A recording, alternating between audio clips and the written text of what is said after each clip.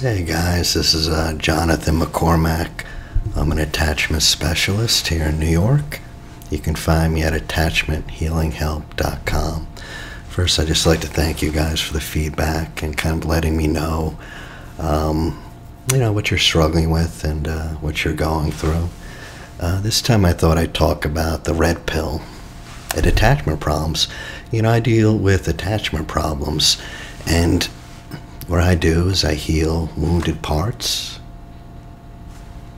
and I heal the inner model of how you relate to people.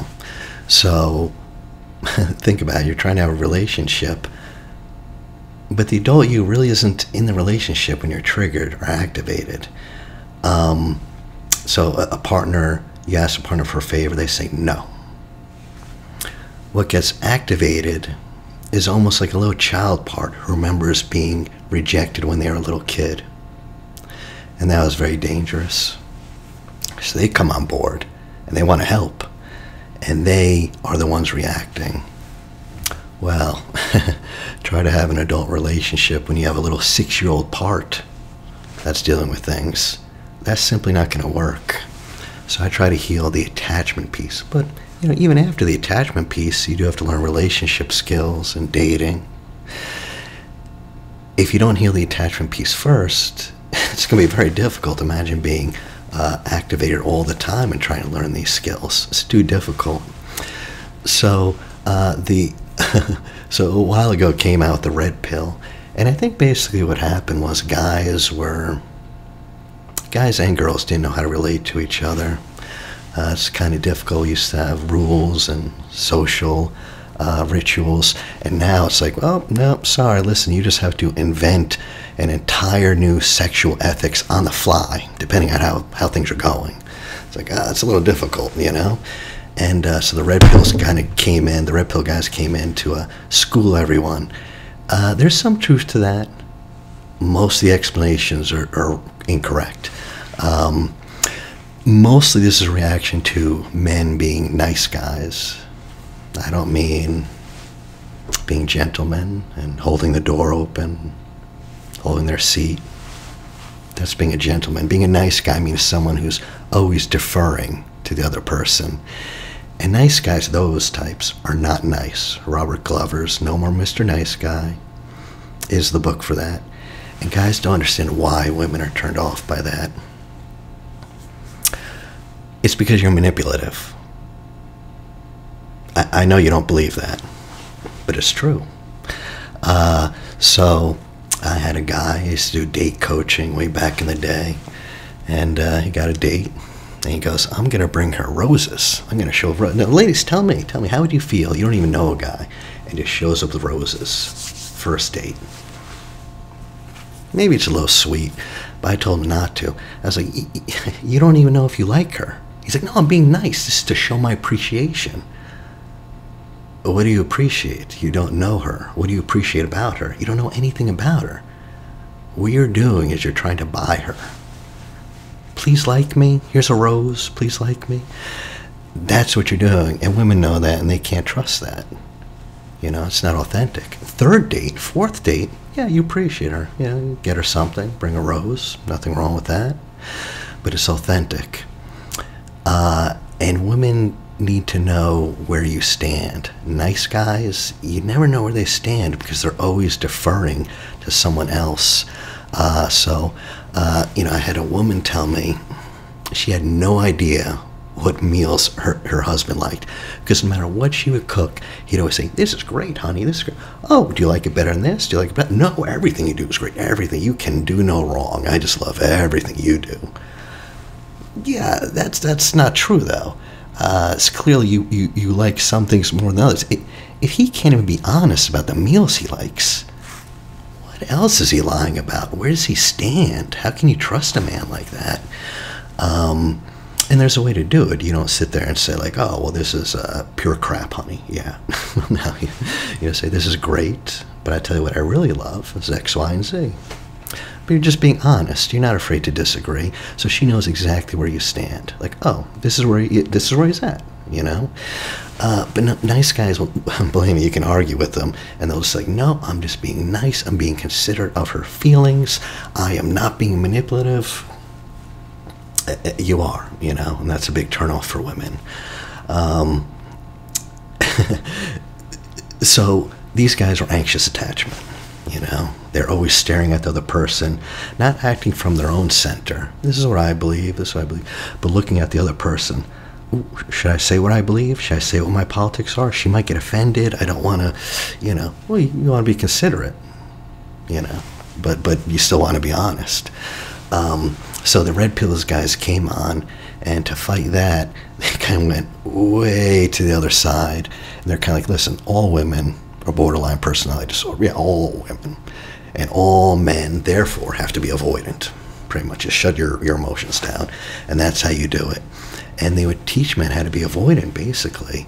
And I saw a whole generation of men go from anxious to avoidant. And these guys would get the girl. They'd learn. They'd learn all the pickup moves. Um, and they'd be confident. But uh, they wouldn't keep her. It wouldn't be intimate. Why would you want a relationship where there's no intimacy? I get it. A warm body is something. It's something. I, I, I understand loneliness. I do. I understand that. I understand the desperation. I used to do these dating, um, like I said, it's little like workshops, and it, uh, men, men, and I, I, you know, I ask them like, how many guys are here to, um, you know, find out how to get laid? Yeah, not a single one will raise their hands. How many guys are here because they want love and to feel something? Everyone raise their hand. You know, it's embarrassing, but that's all, all these pickup guys doing this, that, the other thing. They're really trying to get that confidence. They're really trying to make the connection. You know. Uh, so they become avoidant and the relationship just won't work out. Yeah, yeah, they know what to say and what to do and all the little techniques, but it just wouldn't work out, you know? Uh, just like even if you learn how to speak to each other and how to communicate, that's still to be really difficult if you're constantly getting triggered, you know? Uh, like I said, I'm less on the relationship side. I'm more of like, well, this is how you heal all those triggers, you know? And these alpha guys are just like wild. They went so far the other way. I don't know if you guys have listened to them, but they're like, listen, bros, loving your children, it's a cuck move, bro. You know, you got to be alpha. Real men don't love their children. They don't love their wives either. That's a simp. Love your wife? Yeah, simp. Okay, buddy. You need to. Sh- she will devour you whole. You know. Uh, I mean, just the things you hear, like incredible. It's like, why would you want to be with someone you don't even love? Uh, you know, you need to control them with fear and and manipulate them. I mean, geez, wow. I mean, that's so psychotic. Um, but also, just why would you want that? Um, but but, they, they do have a lot uh, of things that's actually true. Why it's true is completely incorrect. And by the way, ladies, anyone listen to me, correct me. I'd love to hear your experience. So the red pill guys will say, like, listen, first of all, you need money. Right? And you need money because women like money. Because they're very superficial, and materialistic. That's why. That's why women like money, like guys who like have money. Well, I mean, first of all, my myself am very partial to money. I like having money, you know. It's not just women. Um, but there's a reason for it, a very good reason for it. What if the reason wasn't superficial? What if these things that women like actually told you about a man's character, which is important, and it's not superficial? Well, I mean, listen, if you tell me, if you say, I, I have, I have a buddy 30 years old, makes 200 grand a year. He's got his own house. Okay. He has money. I can tell you a couple things about this guy. I can, for all I know, he sells crack. For all I know, some, he won the lotto. For all I know, maybe uh, his daddy gave him the money. But I bet you, 80% of the time, most of the time, I'm going to find some things about this guy I'm going to find out that he is responsible. Not many people are going to give you a good job unless you're responsible. I bet you I'm going to find out he is very reciprocal, you know, that he knows how to um, help others and be helped. Um, that's true with the rich. You know, the poor live for the day. The middle class live for their houses. The rich live for social engagements. Because if you, when you have a wide social net, life's easy. Life's very easy. You know, your kid needs a car. You have a million people to call. You need to go to the doctor. You know so many people. You get advice and help. And, and that's, that's essential, you know. That, that's a piece of security. Um, I bet you that person makes like 200 grand. I bet you he's um, generous. If you look at real alphas and not, not the cartoonish thing, even in the wild, like gorillas and uh, you know the apes, you think like, well, the head ape, the head dude, he's got to be murderous and just kills everyone and brutal. No, actually, he's usually someone who helps a lot of others, make sure all the monkeys have monkey wives before he gets his little harem. And he actually helps a lot of people out. The guys that just come on board and just destroy, you know, just take what they want, those little monkeys get like killed. They don't have a very long kingship there. You know, and it's true with a lot of people on top. Not everyone. Boy, I know a lot of exceptions. But I'm just saying in general, I bet this guy who makes $200,000 a year is, um, I, I bet you he can defer pleasure and he has long-term thinking. I bet you that's true. Again, sometimes it's not going to be, but 80% of the time. So when he hears people say, oh, women like money, what does the money tell you about the person? I mean, women, they're not stupid. They can't spend eight months, a year, three years seeing if this guy's the real deal, seeing if he really is responsible, really, you know, make us say anything. No, no. But if he shows it, that tells you a lot about character. And that's not materialism.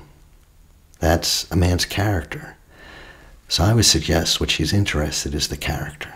That's the most important thing money is just one way to show that character, you know. The other thing is confidence. You know, men I see very much resent women. Uh, you know, like, oh, you know, women, they only like confident guys. Well, how does someone get confident? Through being competent. And that's how you do it. And if you're competent, that probably means that you have some respect from your little tribe. That probably means you're good at something. That probably means you get paid for it. Probably means you're appreciated. You know, being confident tells you a lot. you know, if, if you're going to trust yourself and your kids to someone, you want to know that these things are um, that the, that, that your children and you are going to be secure and you're going to be safe. Uh, so when red pill guys talk about all these things about women, you know, they'll say some of these things that are true, but then they'll be like, oh, and this is because women are, uh, you know, just uh, beasts. I mean, listen, guys, if you don't increase your gross personal worth, if you don't get a raise 2.5% every semester, your girl will stab you in the face and cheat on your brother. That's what women are. No loyalty. That's what they are. Just ravenous. They don't want to, but uh, it's biological, bro. You know, uh, they can't help it. Um, it's just evolution. Just evolution. I gotta tell you, the reason women are acting this way are some good, good reasons. At the same time, though, I do recognize that the uh, dating scene is, uh, I mean, it's monstrous. It's very painful. I mean, it, it's like the Hunger Games out there. Uh, there used to be little ways to control these things, and now it's kind of just just a free fall. You know, I mean, geez, talk about like Darwinian uh, hyper competition. You know, Tinder and all these things, and uh, the boomers invented this. Here, here's a great idea. Instead of finding someone in your little your little circle, like the church you go to, and you say, "Hey, is anyone?" You know, the old lady says, "Oh, I got a niece who I think you'd like," or uh, the neighborhood you live in or whatever. Say that. How about this? We'll just just bump into a stranger, ask them out. Okay. You lie. You, you you pretty much lie to them for eight months. They lie to you for eight months about who they are. because both were very nervous about showing who they are. And by then, you guys are pre intertwined, and then you get married. Good luck with that. Okay? How about that? Boy, just dating strangers? I mean, it's kind of hard. We used to have a social group. We used to go to that social group. And indeed, if you are looking for someone, that's why I would suggest you do. You find a social group. Church is great if you go to that or any other spiritual place. Um, who goes to a meditation uh, place. He's been going there for years. Yeah, and now he's like kind of he lets people know, like you know, I am looking for someone. He's got a lot of friends there. And, you know, this girl's like, well, actually, my sister would get along with you because she knows him. And she knows the sister, so they really can't lie to each other. They they know each other. They, they you know, she's gonna call them out. You know, so there's at least some kind of bond. At least there's something there. Um, otherwise, it it's just uh, too difficult. I mean, we all know it takes a uh, you know a village to raise someone. It takes a village just to keep people together. You know, it, it's helpful to have uh, a big social group too. You know, uh, there's some other things I could say about the red pill philosophy. But if you guys have any opinions or disagreements or how the dating scene has been, you know, please let me know. I'm, I'm fascinated by it and just curious of how this whole red pill philosophy and how dating is working out with people's attachment styles. So I appreciate you guys listening. Uh, Jonathan McCormack. Have a good one.